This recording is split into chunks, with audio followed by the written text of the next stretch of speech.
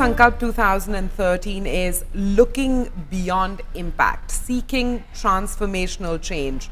How can transformational change be achieved? What is transformational change for starters? I'm going to pose that question to Anil Sinha, Regional Head, South Asia Advisory Services at IFC. IFC, of course, is the largest development institution focused entirely on the private sector. That was a quick introduction to the IFC for the uninitiated. But when we talk about transformational change, I get stuck at the definition aspect right away. How do you define transformation, Mr. Sinha?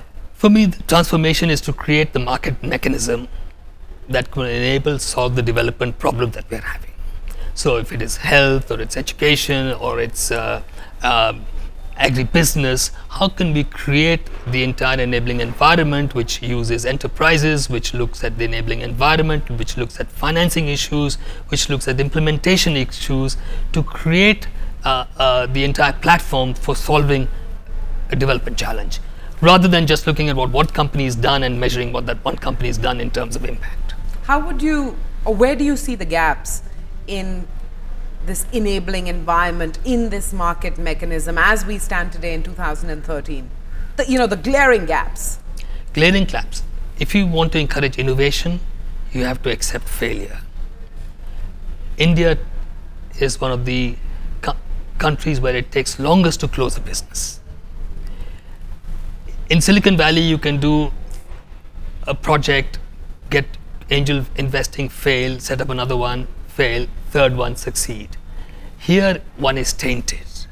And how do you create the environment to accept failure? Because the other side of innovation is failure. Every innovator will say that. I mean, that's the first message that they send out. Even the celebrated innovators of more recent uh, vintage, like Steve Jobs, will say, you've got to you know, take that failure in your stride on your, on your innovation journey. But uh, there's a recent IFC study, for example, which talks about uh, the huge funding gaps for micro, small, and medium enterprises. I'm going to split this into two parts. You know, one is, of course, many social enterprises that have gathered at, at a convention like, or unconvention like Sankalp, who uh, talk about funding issues. You've captured some, uh, a lot of that, uh, most of that in your report. Um, you know, the numbers are so staggering. Run us through them. And, uh, uh, you know, what's the way forward? So, despite all the efforts, our study clearly showed that there's a huge gap, financing gap uh, between the needs of the MSMEs and what the financial sector is providing. Um, we've also made certain suggestions to improve that. And one is again to develop the financial infrastructure, uh, which means that the credit bureau should be working much more effectively to give comfort to a lender to lend. Uh, the lender should be evolving more appropriate products for lending to small businesses. Because on the one side, we're hearing that uh, the, the financial institution says we can't really lend, we don't have good projects coming through, and we have the small businesses saying, look, we're, we're really uh, short of funding. Um, funding needs come in really when a company is trying to grow. So in the first round, one can pledge one's collateral, get financing, you set up a business. Then as you grow, uh, you want additional working capital, you want additional financial uh, uh, services that you need, you don't have the collateral to lend. So on what basis uh, can you go to a bank um, and how can that bank get comfort? One is your credit history clearly, so if there's a credit bureau that's working, that makes a lot of difference. The other is cash flow lending, more of a partnership approach, uh, more of the appropriate instruments that you need. Most SMEs uh, go under not because of long-term capital, because short-term capital is not available. They run out of cash. So much more of those kind of products need to be provided. Uh, the, the numbers are still staggering despite everything. And very sobering also. It, it is very sobering and it also impacts some of the innovative enterprises that are coming in uh, through the inclusive business model space.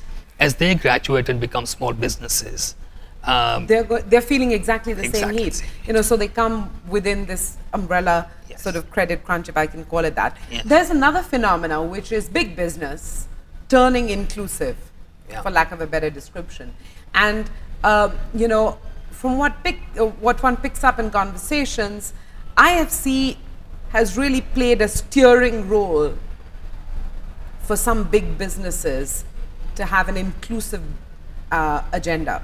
you know, uh, is that phenomena, am I flattering you too much at IFC? Is that phenomena really gathering steam beyond IFC's support and partnership as well? I, I think so. I think IFC, apart from our own financing, I like to think also set standards.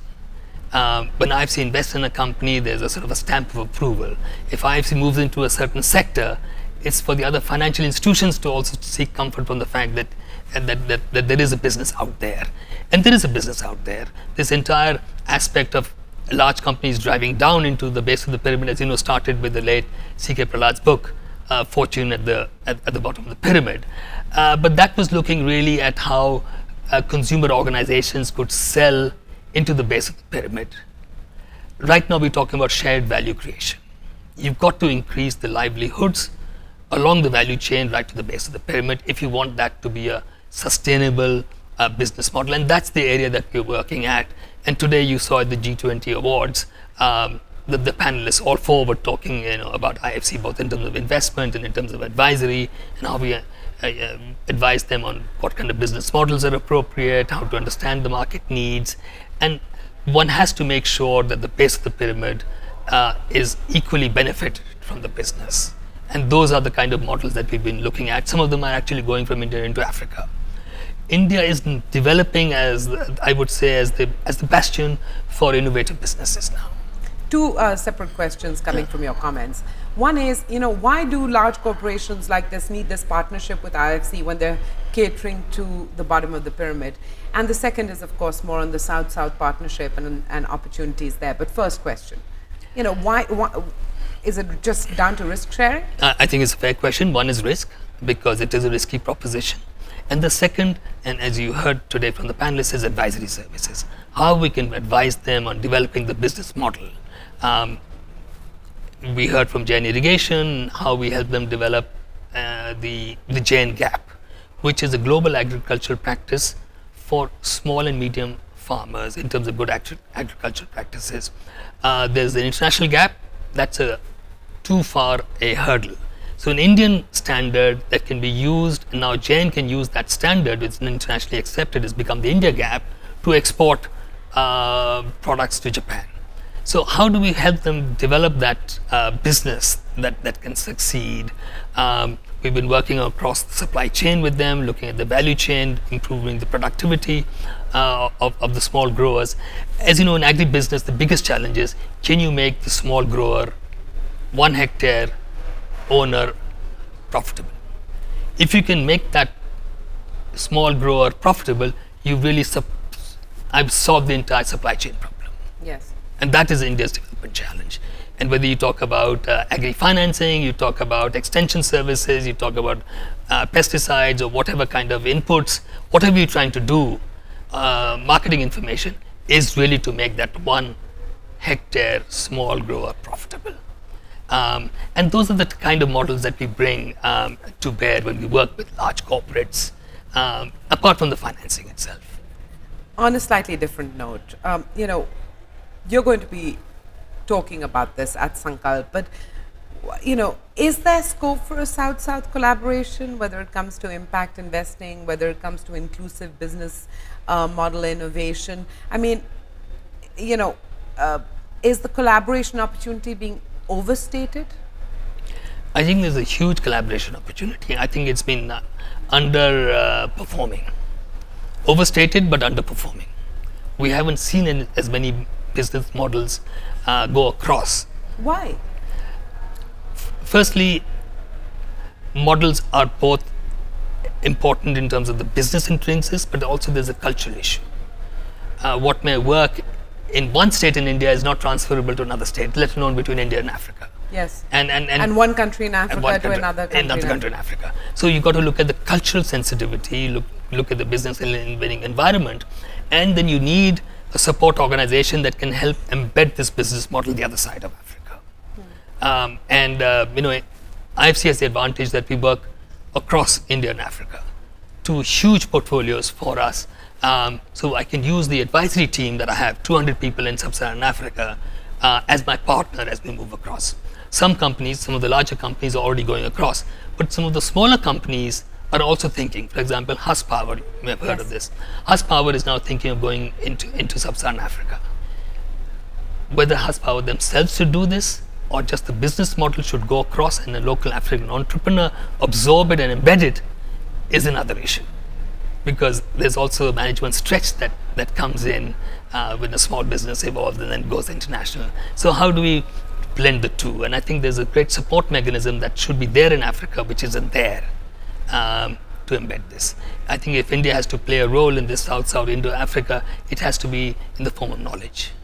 It can't be in the form of infrastructure finance. And there have to be receptacles, sound receptacles the for that knowledge in Africa. Yeah. Um, one final question is going to sound to you, uh, you know, extremely tedious and practical, but I want to know, for Anil Sinha personally speaking, um, your daily schedule at work, is it going to be more and more focused on getting large corporations to, uh, to have an inclusive business agenda, or is it going to be, um, you know, the advisory services, which is also, of course, bread and butter for you, if I may say that?